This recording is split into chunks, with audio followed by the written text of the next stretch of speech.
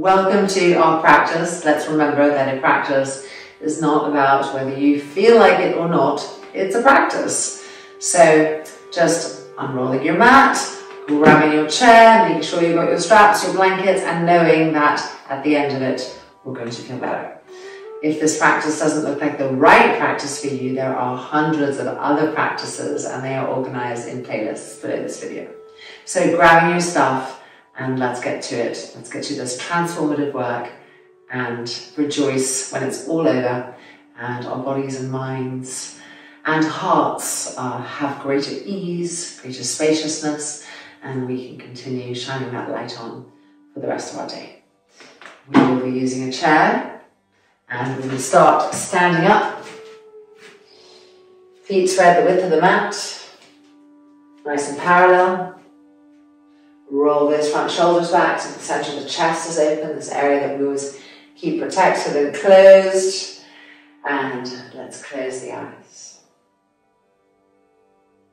Visualize those roots growing from the soles of the feet, down, down, down into the center of the plant and visualize through the crown chakra that energy extending up to the heavens.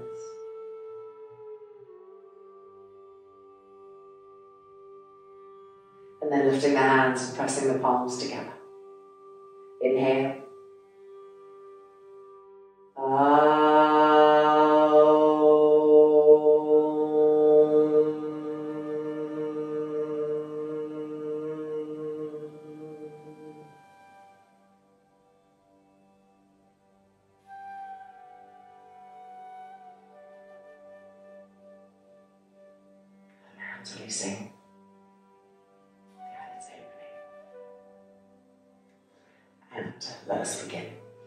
So I put a little sliver of a curl-up mat on the chair just for comfort.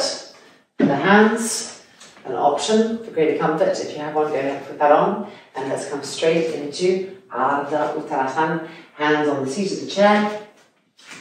Walking the feet back.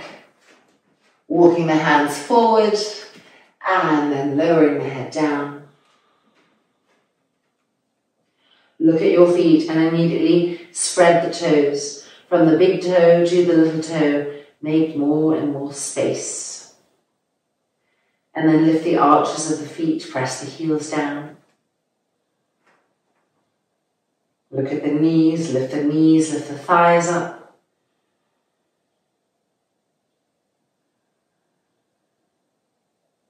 And as you're lifting the thighs up, also press the front thighs to the thigh bones and you'll feel the buttocks moving back, the hips moving back with that energy. And of course the trunk coming forward, the arms stretching.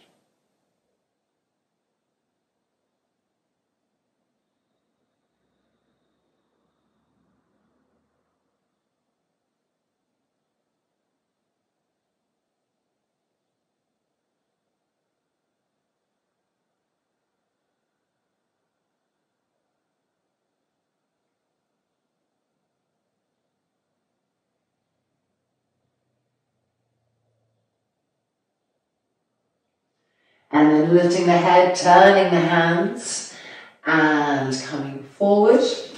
Lifting the heels up, finding a chair plank. So draw the belly button in and tighten the core. Broaden the shoulders.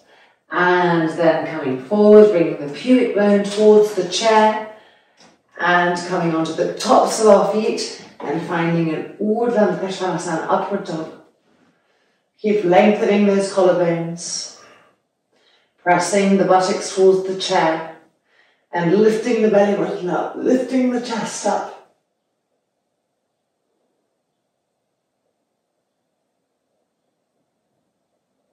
And then rolling over the feet, turning the hands back onto the seat of the chair, making sure that the feet are the width of the mat. And again, Ardha Uttanasana.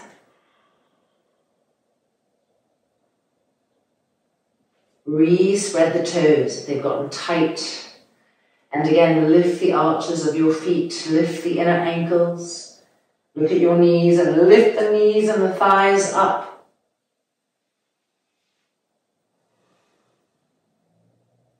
Push the thighs back and feel the buttocks moving back as the trunk extends forward.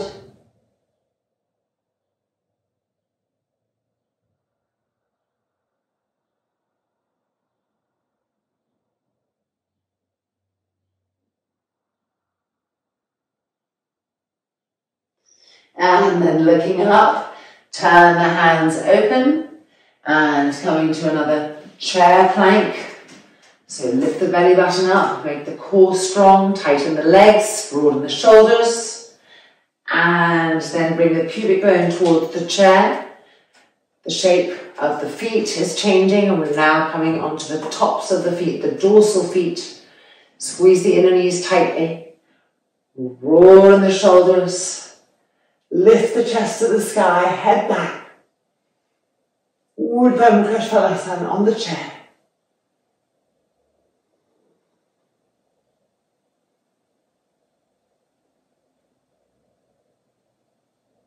And then rolling over the feet, the toes, and back to Adho Mukha Svanasana or Ardha Uttanasana. Make sure the feet are really the width of the mat. The hands back on the chair, the legs straight, the arms straight. More and more vibrancy coming as we awaken, as we come into our bodies, into our breath, and into the noticing.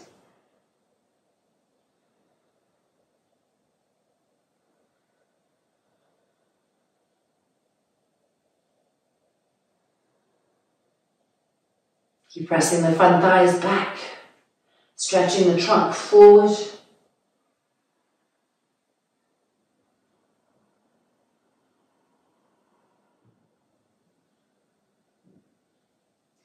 And then looking up, one more of these. Turn the hands open and come to a plank pose. Firmness. And then pushing ourselves forward, rolling onto the dorsal feet. Press down into the hands to lift the chest higher, shoulders back, breathing here.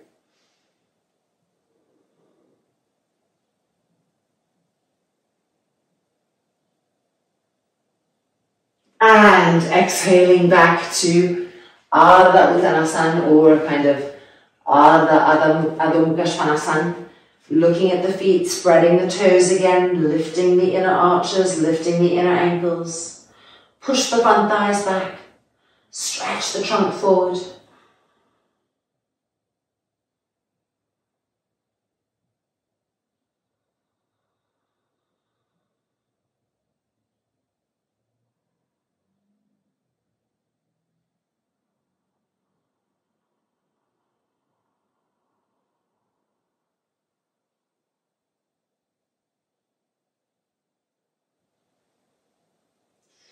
And then looking up, you can walk the feet in a little bit in order to gently come up and out of the pose.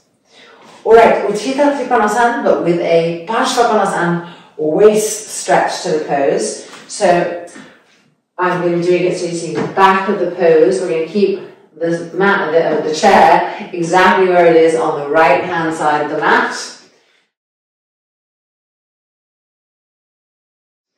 And we're going to step our right leg towards the chair and move the left leg back so that we have the legs of Trikonasana.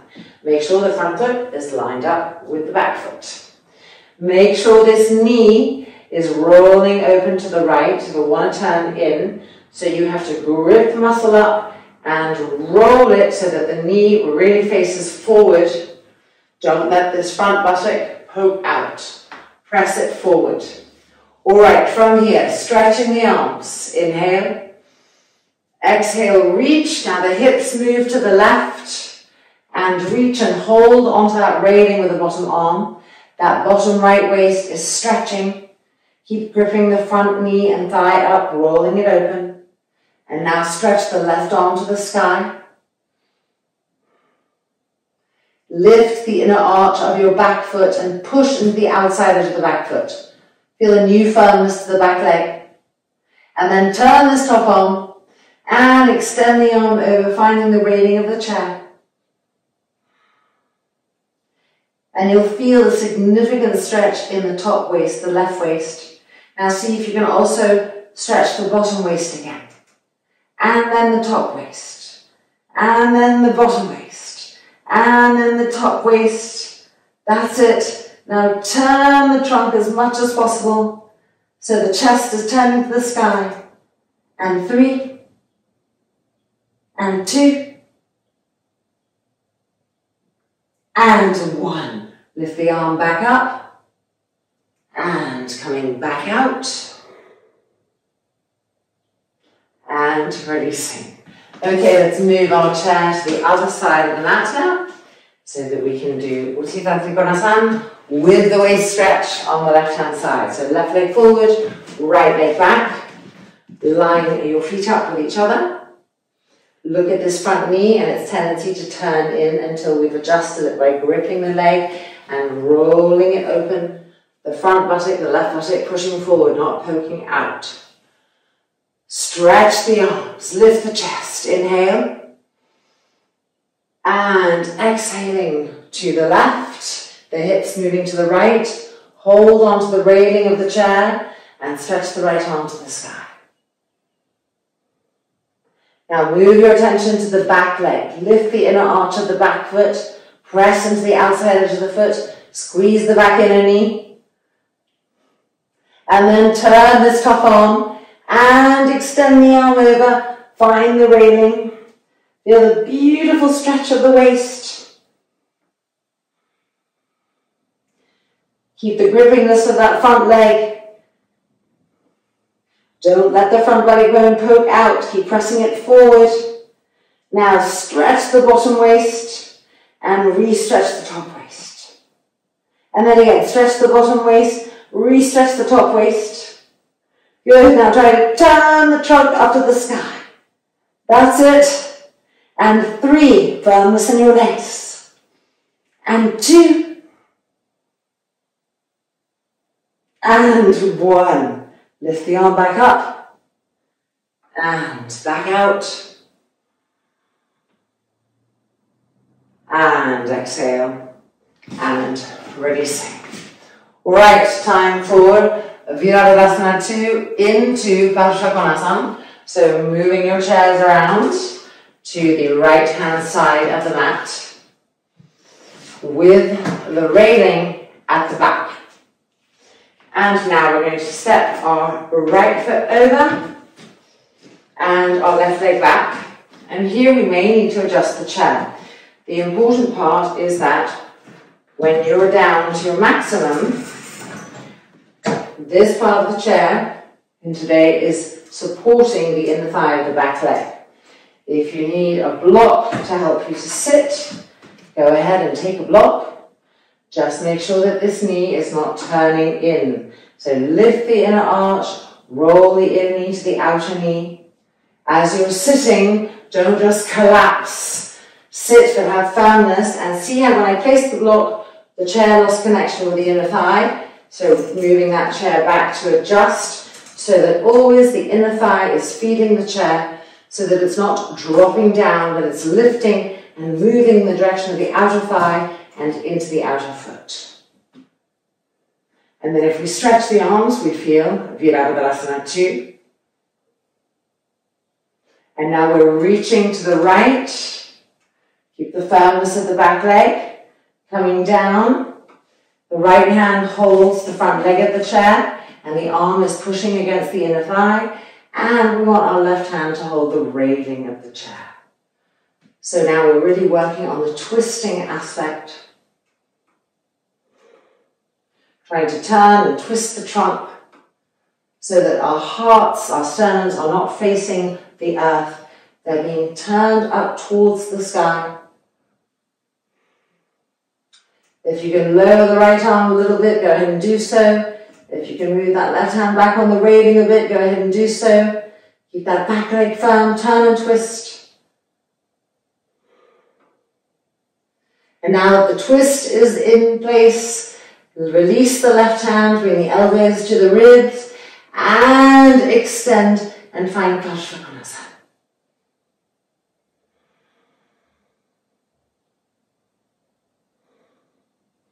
Keep twisting.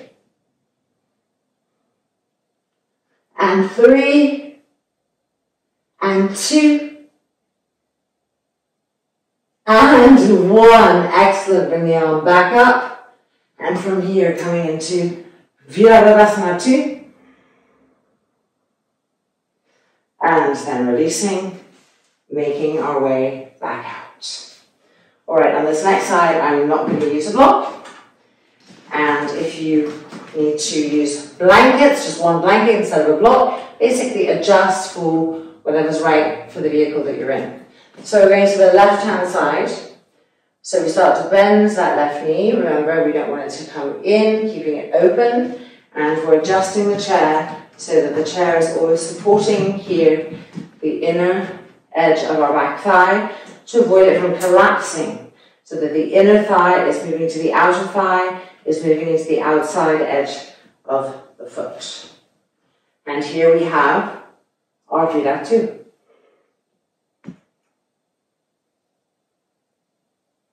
And now we're reaching to the left, coming down, the front arm holding the leg of the chair, and the back hand holding the railing.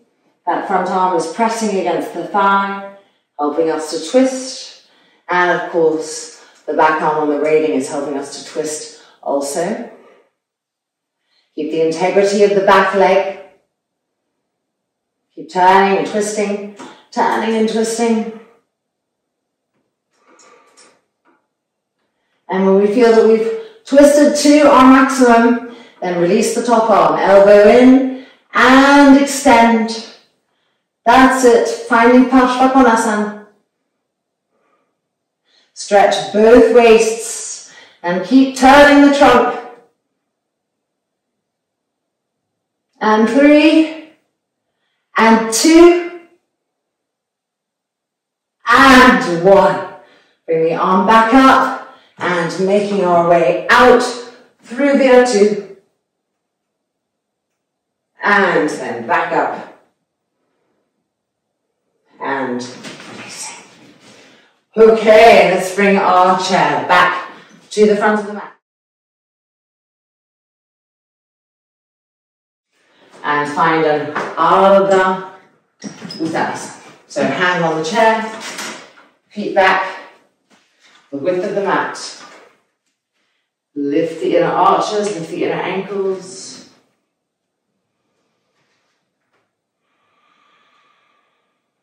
Push the front thighs back and stretch the trunk forward.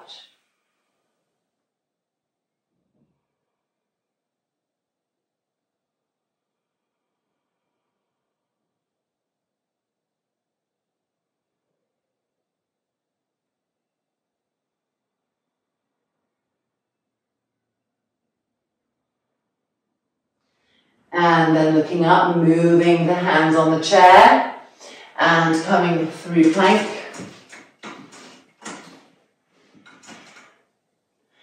And then coming into an Urdhva Mukhasvanasana onto the tops of the feet. Roll the shoulders back, lift the chin.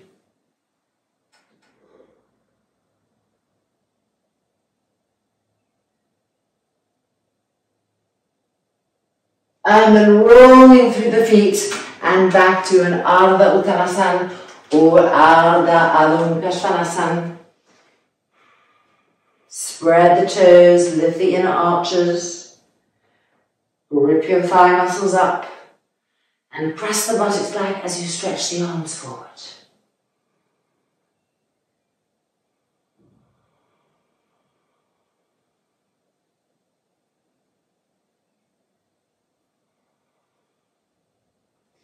And then looking up, bending the knees, and you can always walk the feet forward if you want to, or just coming up and coming to standing.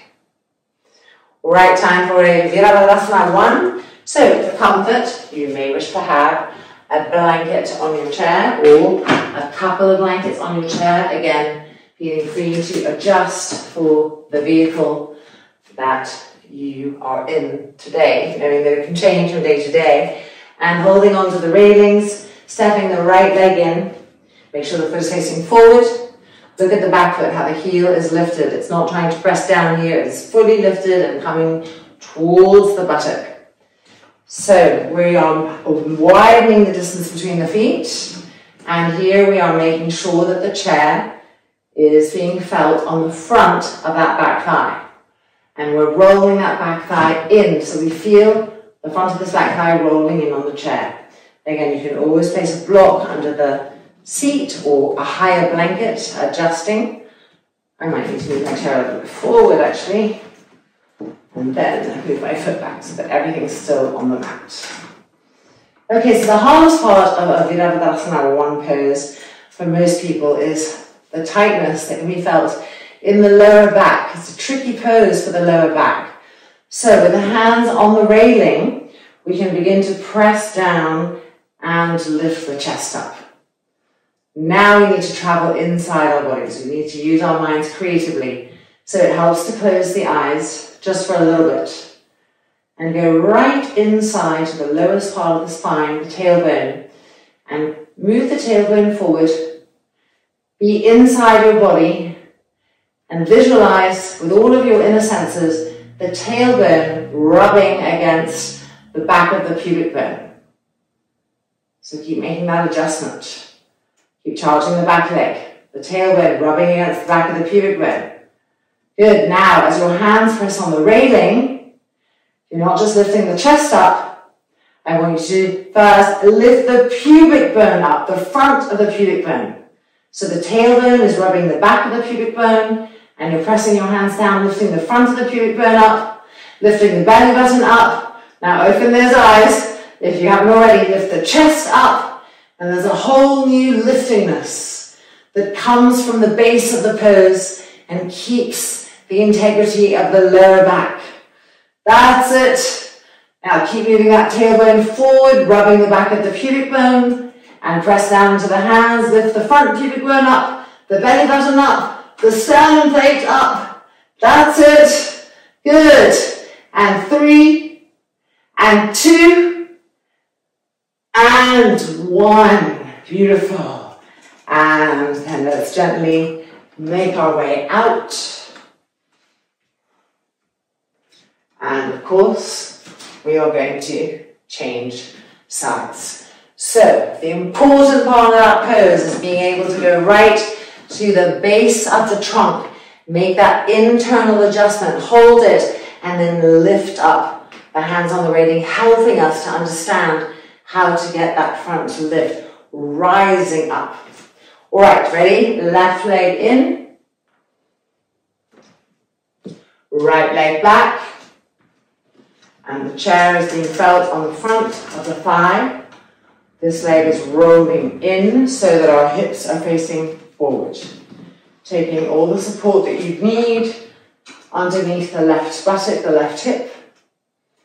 Charge that back leg. Press the hands on the railing down, feel the lift of the chest. Now close the eyes and press your tailbone forward so that it's caressing the back of the pubic bone, the part of the pubic bone inside the body.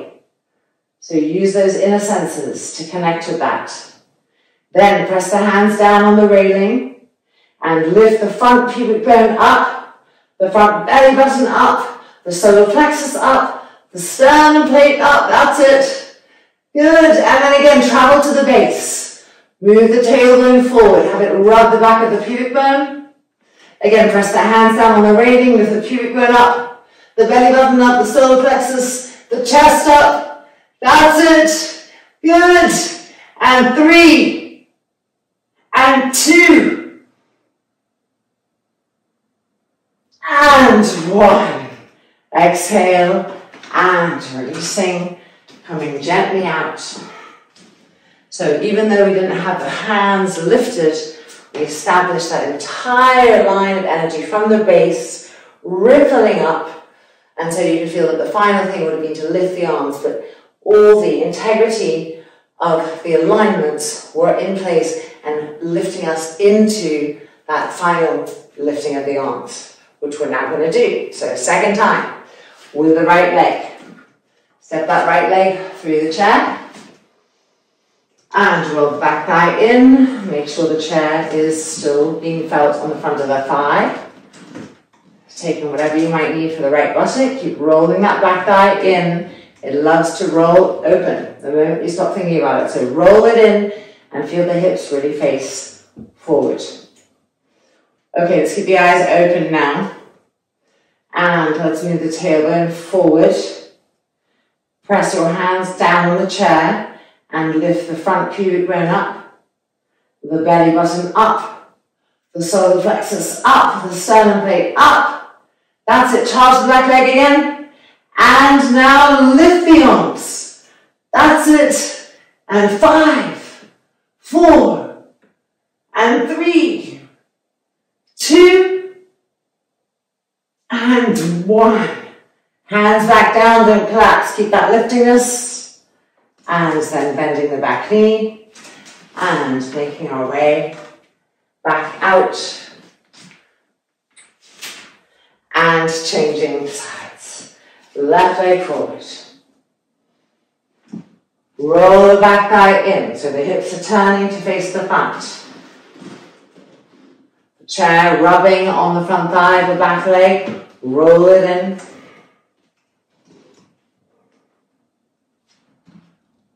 Straighten the back leg.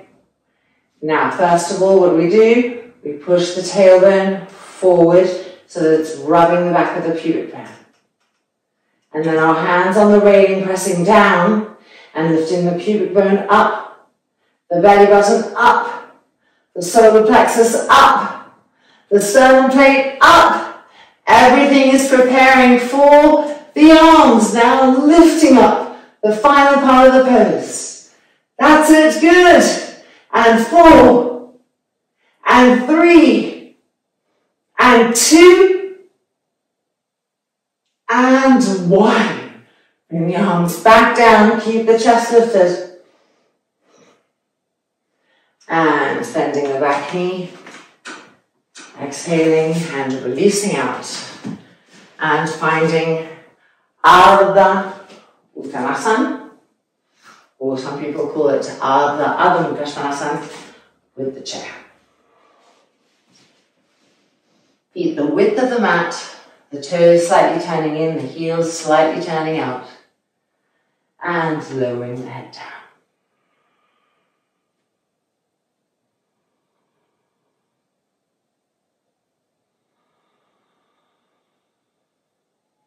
Push the front thighs back as you grip them up. And feel the hips and the buttocks be pushed back as the trunk stretches forward.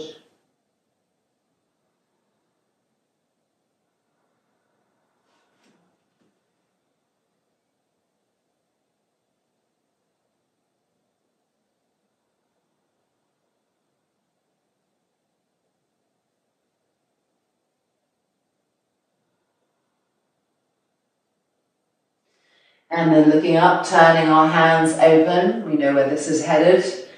So coming forward into our plank with control, don't hurry, noticing.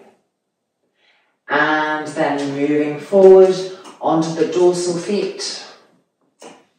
And here again, the tailbone moving forward to rub the back of the pubic bone. Now press into the hands and lift the front pubic bone up the belly button up, the solar plexus up. That's it. And three, and two, and one. Rolling over the feet and back to Ardha Uttanasana. And we can see how Virabhadrasana 1 and Upward Dog share that similar interaction where the tailbone has to rub the back of the pubic bone and then we lift the front body. So we start to see similarities between different poses, the alignments linking up.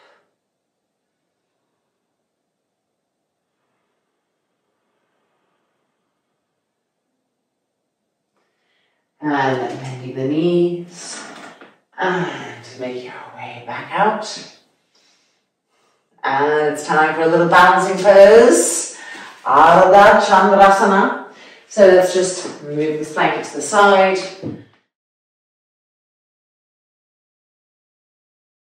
And take our chair, fold it up, and turn it so that the seat is facing us.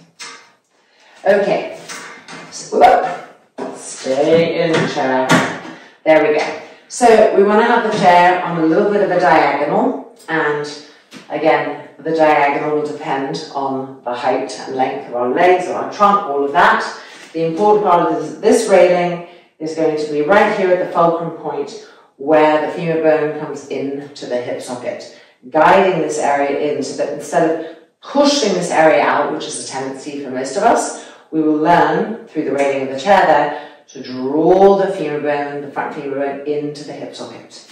So let's come in first.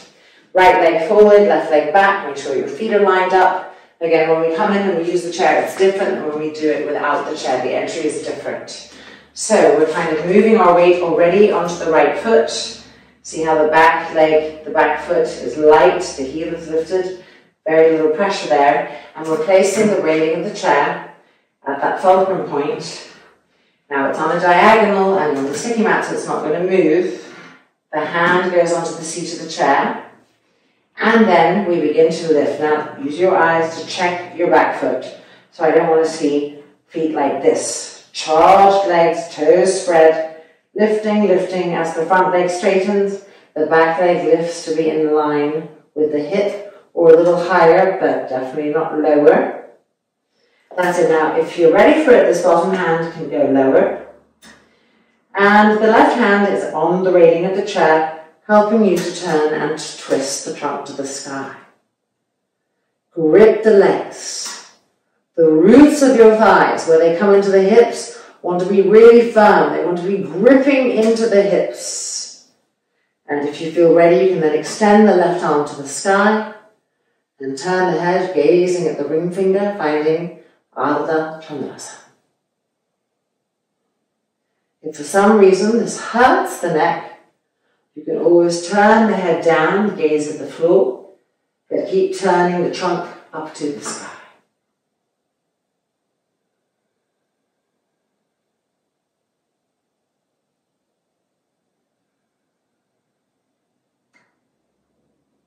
Make sure that left leg stays active. Make sure you keep feeling the purpose of the railing of the chair.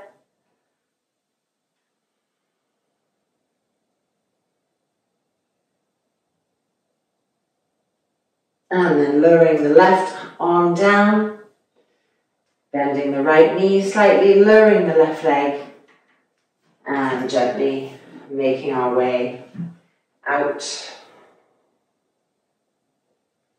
And changing sides. So we're going to move the chair to the left hand side, remembering that the seat of the chair is facing us. Left leg forward, right leg back bending this left leg a little bit and moving the weight onto the left foot. So the right foot is light. And now adjusting the chair. The railing of the chair, finding its important point there. And then the hand to the back seat of the chair. And begin to lift that right leg and use your eyes to check on it. So that you have it lined up with the hip, not forward, not back, not too low, but lined up and pushing through the wall of the foot, the toes extended, stretched, spread, pulling back towards you. Turn the trunk up to the sky. And if you feel ready, extend the right arm up. Otherwise, you can keep it on the railing of the chair. Ardha Chandrasana.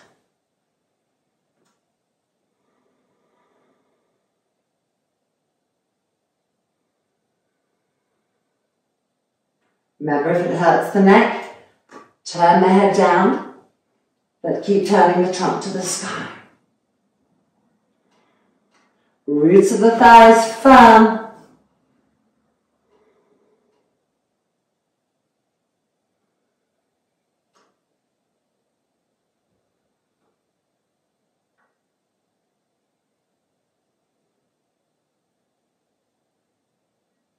And then lowering that right arm, bending the left leg, lowering the back leg, and gently making our way out. And exhaling. and releasing. Okay, we're going to keep the chair as it is and turn it back to the right hand side for Parshvottanasana, simplified Parshvottanasana. So again, the chair will be on a diagonal, and because it's on a diagonal and we want to stick sticky mat, it won't move. So we're going to have our right leg forward and the left foot back. Now there's a tendency for people to have a really short distance like this. I encourage you to go beyond the barriers that you've set yourselves. So really push that left foot back, move it back, step it back, and then move the chair in. And here's the hard part. How do we get the front of the left hip to stay connected to the hip?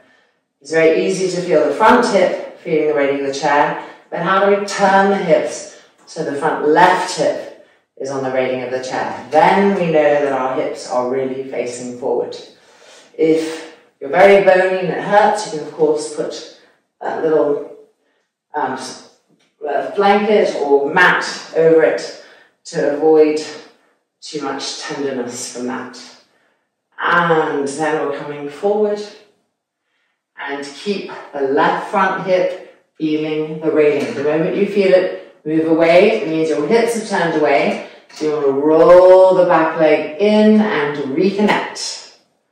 And then walk the hands down. Again, if it turns away, pause, roll the back leg in, reconnect, and so forth. The hands moving down. And when you're at your maximum extension, lower the head. Breathing here, Parshvottanasana.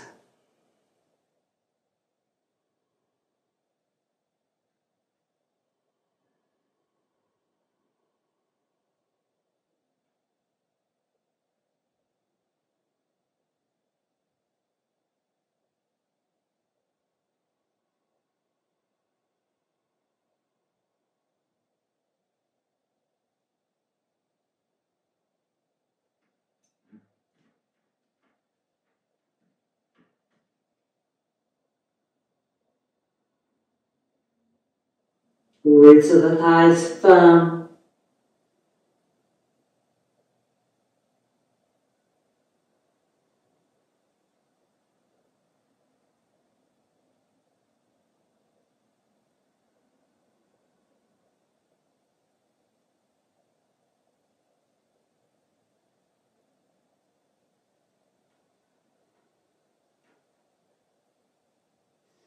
And now looking up. Make sure that back leg is straight, loves to bend a little bit.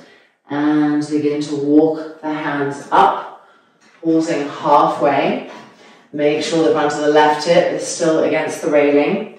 Now move your left hand to the middle of the seat of the chair. Even if you're higher up, that's fine, just to the middle. And move this right hand to the top of the railing and start to twist. So here we're finding the entry point for Parivrtta Trikonasana. And the important thing is to try to keep the front body long. So from the pubic bone to the belly button to the solar plexus to the sternum, don't shorten and twist. Lengthen and twist. Lengthen and twist. Lengthen and twist. That's it. Feeling that twistingness. Good. And then if you feel it, you can bring your hand to the hip, your hand to the sacrum, Roll that shoulder back, twist, and then extend the arm to the sky. That's it. And three, and two, and one. Hand back, coming down, facing, and emerging through Parshvottanasana. All right, releasing the chair and whoo, changing sides. Down there. Stepping the right leg back, making sure you have some distance. Don't be timid with yourselves, take that distance. And then place the chair, adjusting it, and roll this back thigh in so your hip is always feeling the front railing of the chair. Are we ready to descend into Parshvottanasana. And the moment you feel any disconnect, stop, roll the back thigh in, reconnect the front of the hip to the chair. And then coming in. Making your way gently down. Paying attention to the hips. ああ、しこったなさ。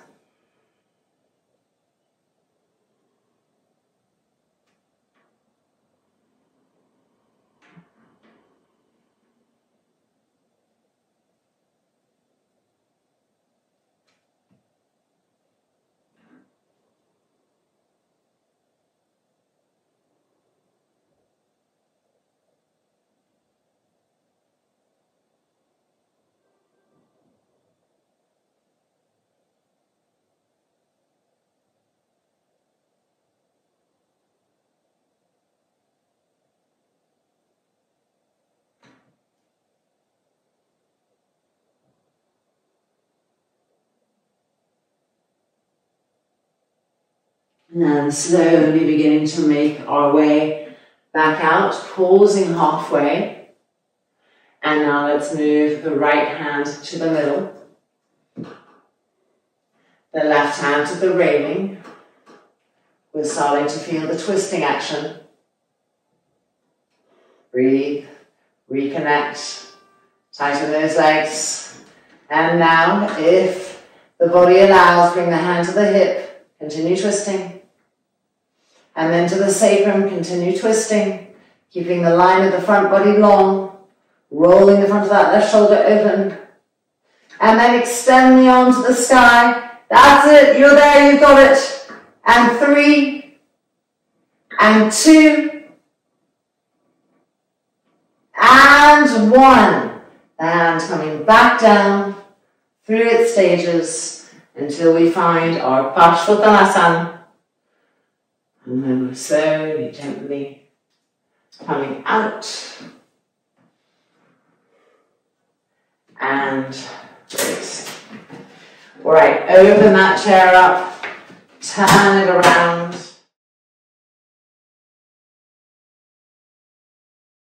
And come to an Ardha Uttanasana.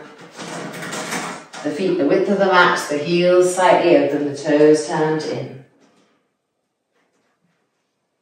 Squeeze the knees and thighs up. Establish a smooth and even breath.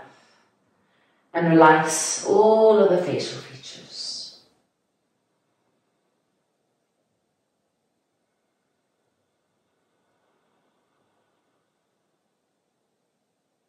Keep gripping the thighs up, pushing the thighs back the buttocks are moving back and widening, and the trunk is stretching forward, the arms are stretching forward.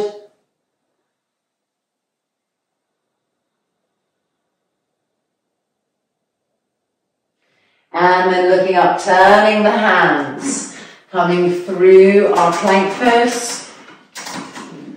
Don't let the belly button and all of the lower abdomen fall. Lift up, be firm, and then rolling over the feet onto the dorsal feet, the pubic bone to the edge of the chair. Now move the tailbone forward so it rubs the back of the pubic bone. And then press down into the hands and lift the pubic bone up, the belly button up, the solar plexus up, the sternum up.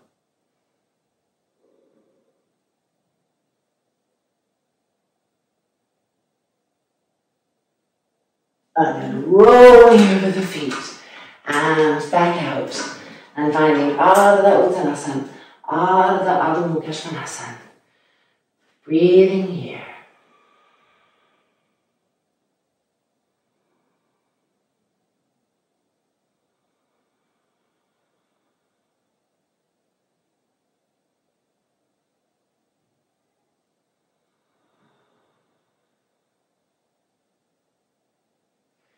And then coming out. Remember, you can always step the feet in in order to come out more easily. And it's now time for Prasarita Padottanasana. So we are going to turn our chairs this way. So the sticky bits on the bottom of the chair stop it from slipping. And we are widening our legs, really nice and wide. The toes turning in, the heels out. Now lift the inner arches and push into the outside edges of your feet. And from that, the firmness comes up the legs.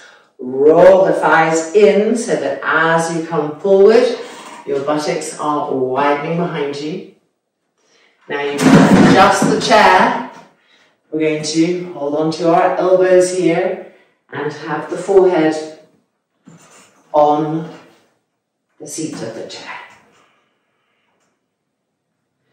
If this hurts, a blanket can be nice, of course. Smooth and even breath. And even though we may be feeling a sense of relaxation, which is wonderful, we want to keep the legs gripping. So the thighs gripping up, the thighs rolling in, the sit bones wide.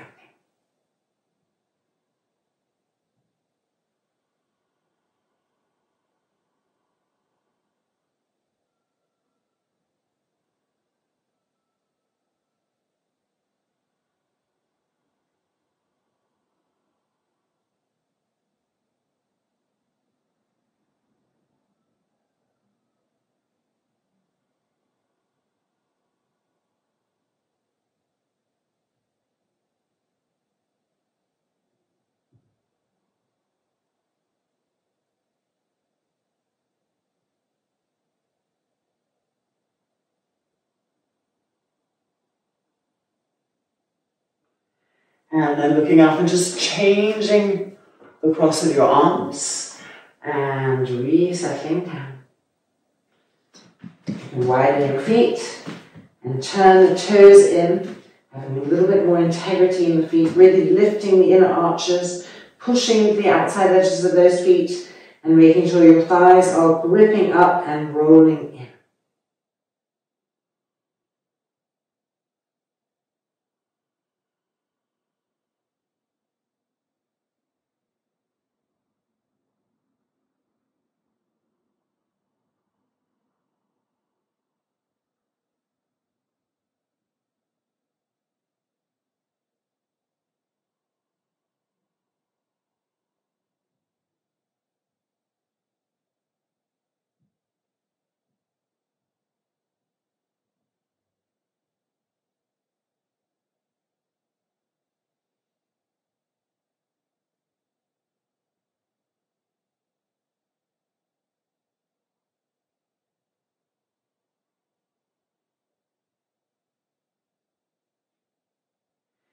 And then coming back out. Turn the heels and the toes and the heels and the toes and the heels and the toes in. Ah, and exhaling. And releasing. Okay. Taking this chair and placing it here. We are now going to sit on the chair this way. Paripurna Navasan coming out. You know what, let's take this and place it. And let's give a little comfort. I have to remind myself to give the comfort because after a while it doesn't feel uncomfortable, but I know that in the beginning the chair can feel kind of hot. So giving you guys options for that. Okay, so here we are facing the back of the chair. And now let's swing our legs up the railing on the chair. You're holding your hands to the railing, lifting the chest up. So no collapsing, lifting the chest up. All right, extend the right leg. Keep the chest lifted. Ardha Paripurna Navasana or Ekapada Ardha Paripurna Navasana. And down. And now the left side. Foot is vibrant, lift the chest.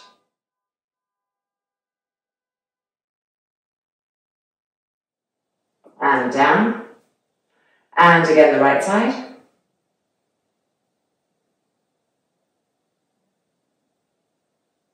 And down.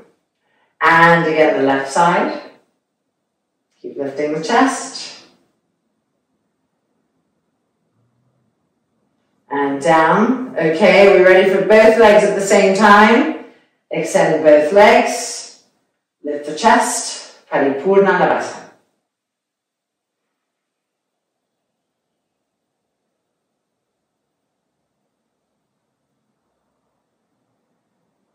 Five, four, three, and two, and one. Bend the knees. Come forward. Take a little breather here. And let's go for our second one. Ready? And extend the legs. Lift the chest. Five, four, three, two, and one. Bend the knees and coming forward.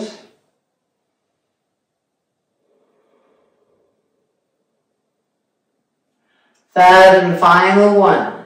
Leaning back, chest open, and extend. Five, four, and three, and two, and one. Bend the knees, good job. And let the legs slide down. And now you're going to lift the left leg up and put it through the railing, the back railing. So the left leg is in and the right leg is out to the side.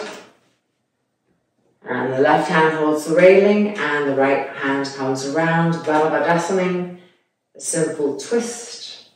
Lift the chest up to the sky. In your twistingness, don't close down. Keep lifting up.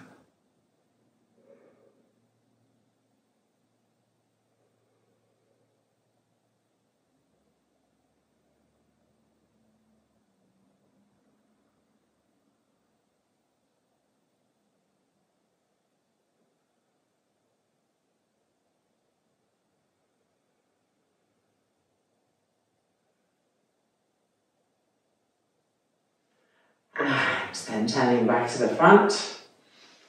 And of course, we have to change sides. So the right leg coming in and the left leg coming out. Right hand holds the railing, twisting to the left, hand going all the way around to the corner. On the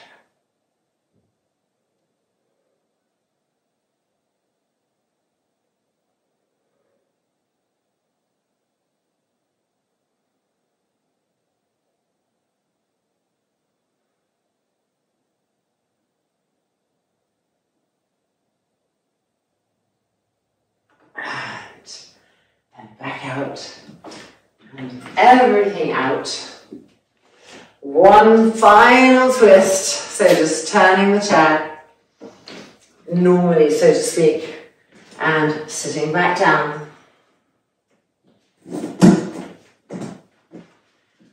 Line your feet up with the front legs of the chair.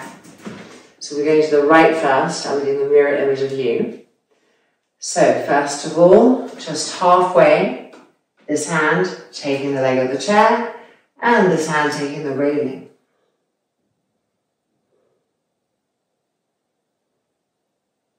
And then if you can go deeper all the way down, go ahead and go deeper, increase it, and move that hand on the railing back even more.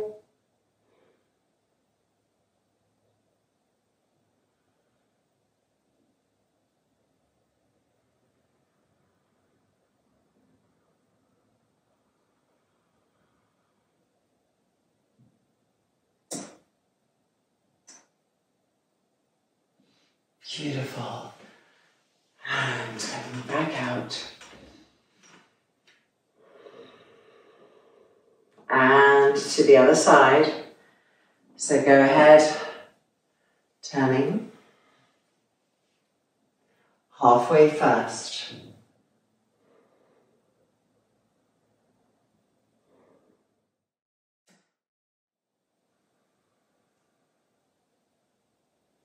And then all the way back down.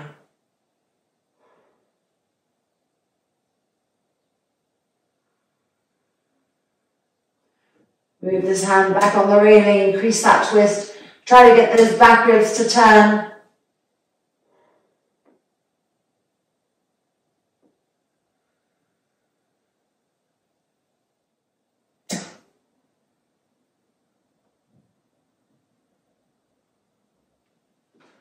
And then gently coming back out. Bring the arms in front, interlock the fingers, turn the palms out. Parvatasana. Just move your feet forward so that the heels are underneath the knees while you do this. Lift up. That's it. Lengthen the waist. And two. And one. Coming back down. Changing the interlock. Turn the palms out. And lifting up.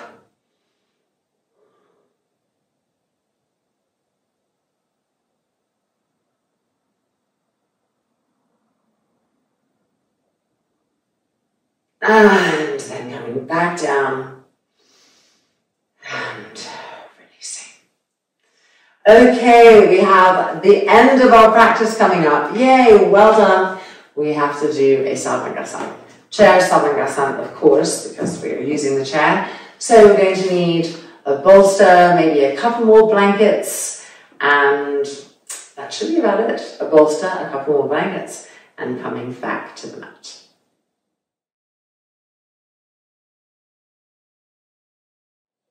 So this is really one of the most beautiful restorative places. Let's just see the setup. So I'm 5'8", and I use two blankets here. Um, if you're shorter, you may just use one. If you're really small, you may unfold it and just have one for comfort. If you're taller, you may use another. Basically, your hips are going to be here, your shoulders will be here, so this is the length of the trunk. So if things don't feel right, I encourage you to hit pause and experiment and find the setup that's right for you. This is going to be for the shoulders, not the head. Everybody loves to get backwards and arch their head back because they want their head to connect quickly with something. I'm going to remind you to keep your chin towards your throat as you come down so the shoulders are connecting here. And then I have this other blanket here and it's this way, not this way. So lengthwise, so to speak. And this is just to reduce the distance from the blanket to the mat. So it's just a little bit more comfortable on the neck and the shoulders. Again, depending on the vehicle that you're in. So for most people, this is a better setup. So I'm using that setup today. So hit pause if you need to, to place this all in. And then let's come and sit on our chairs and come into this pose. All right, legs up on the railing. And when we go back, we want to move our hips and buttocks forward.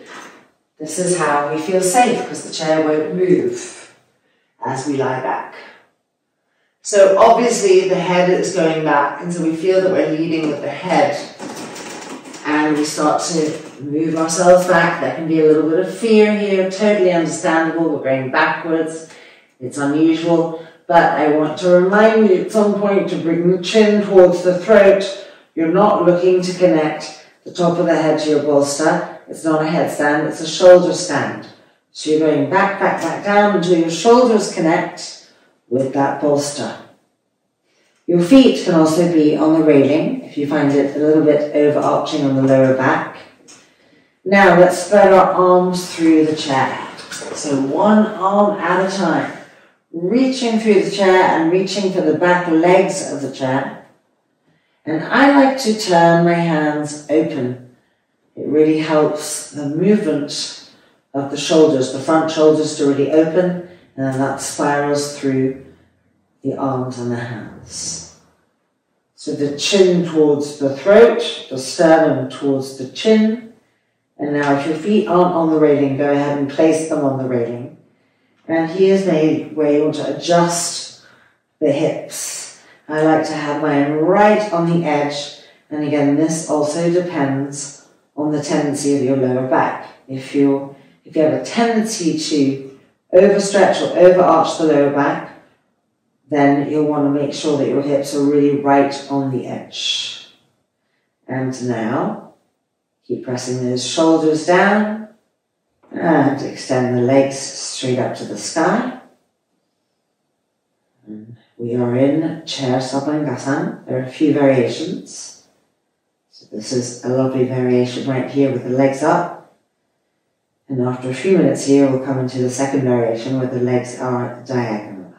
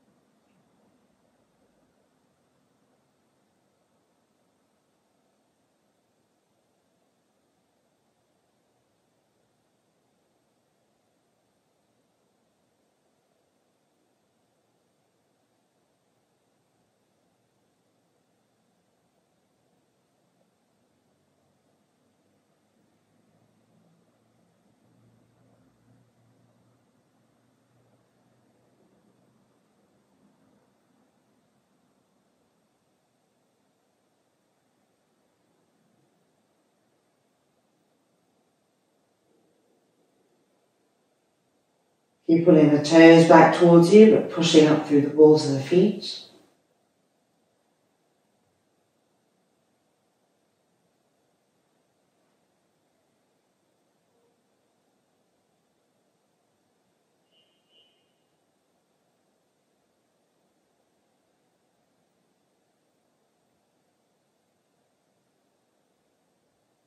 Keep pressing the arms down so that the back ribs press up. They will get lazy unless you remind them to press up because they're used to kind of just flopping and slopping, so to speak. So you're pressing those arms down and pressing the back ribs up.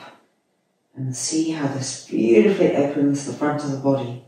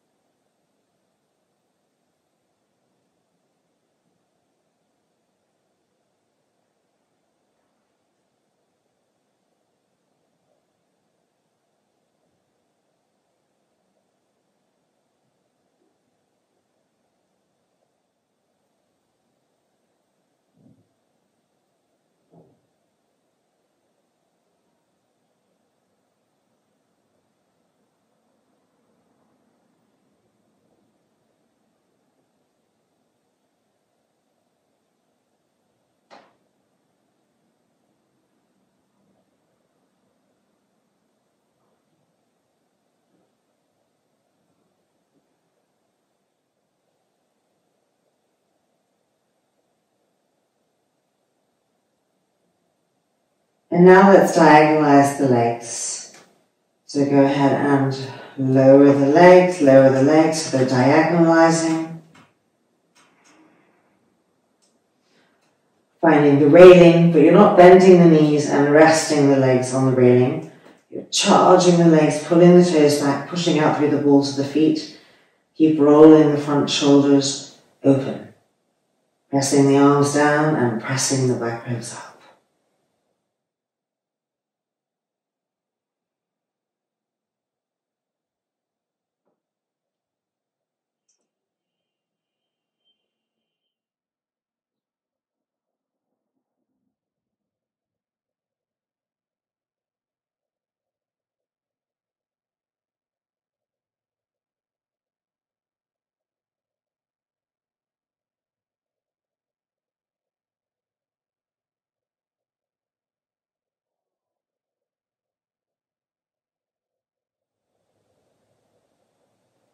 The outer hips towards each other. So let the hips get soft and let the buttocks sag down.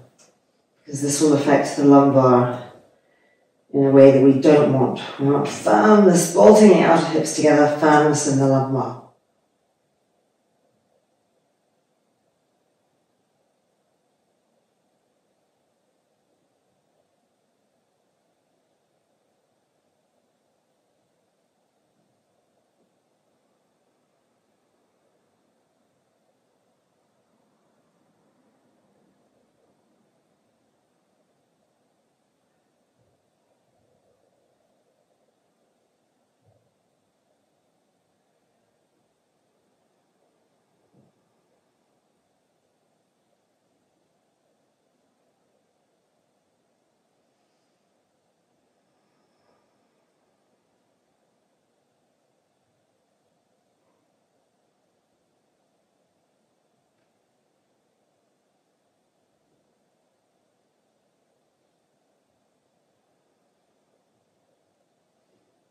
And now we're going to bend our knees and place the feet on the railing.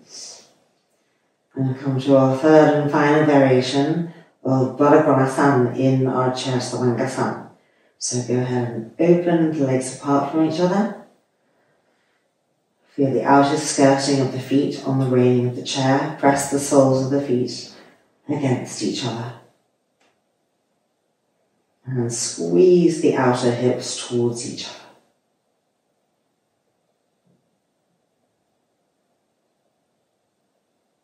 Keep pressing the arms down and pressing the back ribs up.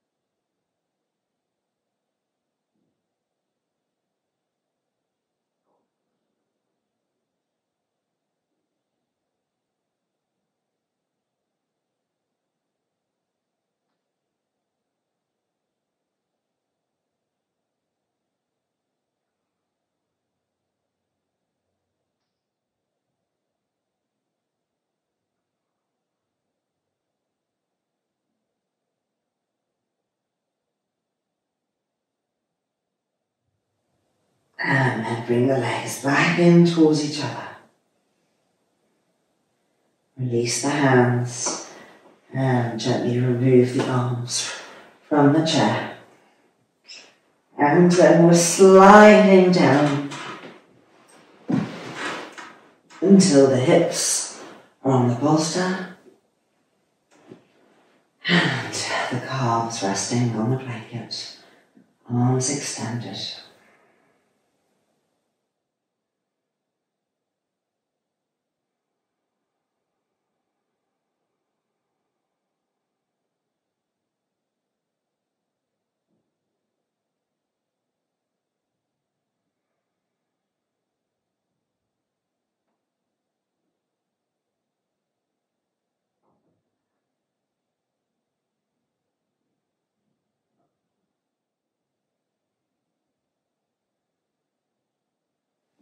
And now we're moving back even further. And then gently rolling over, hands coming out. Almost there. Just setting ourselves up now for a chair shavasana. So moving blankets to the side, and it may be that you have one blanket here or it may be that you have a bolster here. Again, depending on the body type, I'm going to show you what we're looking for. We want, when we lie down, the femur bones to be as perpendicular as possible to the earth. So, it all depends on how long your legs are. If that you're taller than me, you may need to fold the blanket and go higher so that the femurs can come perpendicular to the earth. If you're shorter, you need to remove the bolster and to have a blanket there. Adjusting basically, trying to avoid this action. I mean, this will still be a lovely shavasana, but this is the ultimate because the femurs are plainly coming into the hips. There's no over accentuation of one side more than the other. And so the hips and the femurs, for a few precious minutes, get the experience of what that is to be just cleanly and beautifully connected. The sacrum and the lower back, then connected in a different way, and supported on the earth. So looking for this setup and little blanket for the neck and head. Shoulders rolling back,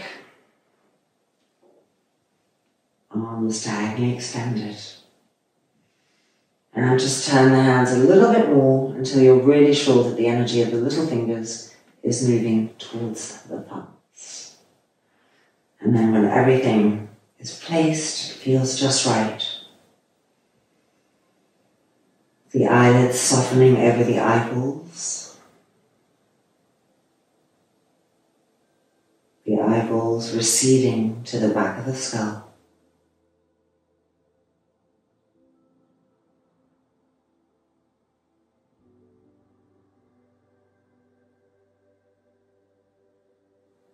The temples flowing into the hairline.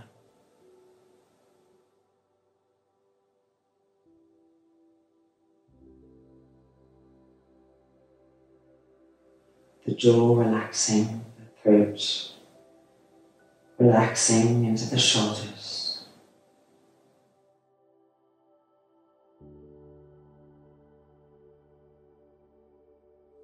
And the shoulders relaxing, trickling their softness through the arms, into the hands, into the fingertips.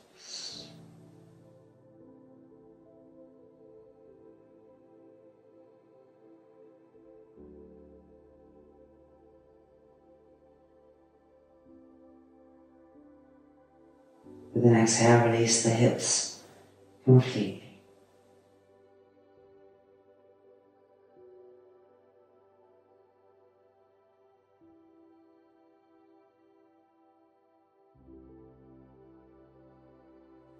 Shavasana.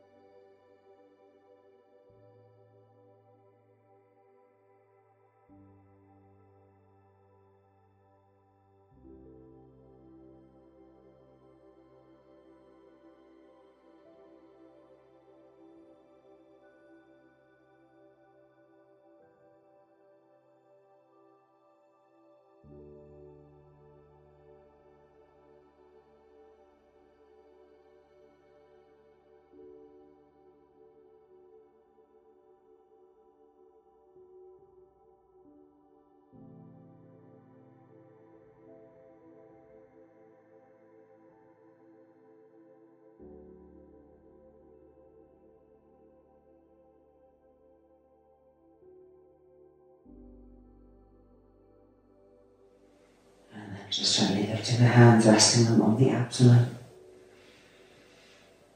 Hmm. So we begin to rise up from the depths of our Shavasana.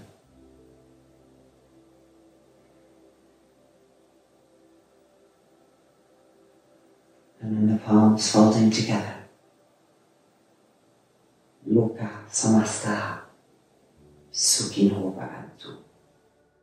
Om Shanti Shanti Shanti.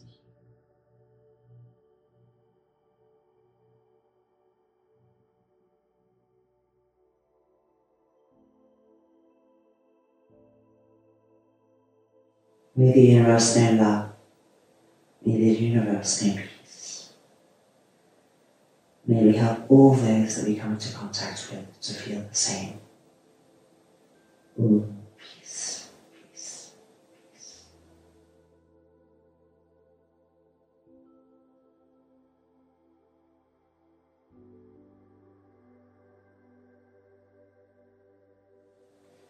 And the hands releasing.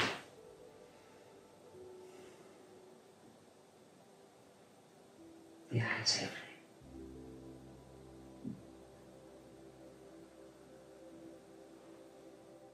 And yes, welcome back. As we roll over joyously, knowing that we have accomplished a great deed. Our practice is complete. Well done. Namaste to you all. Have the most beautiful week and see again soon.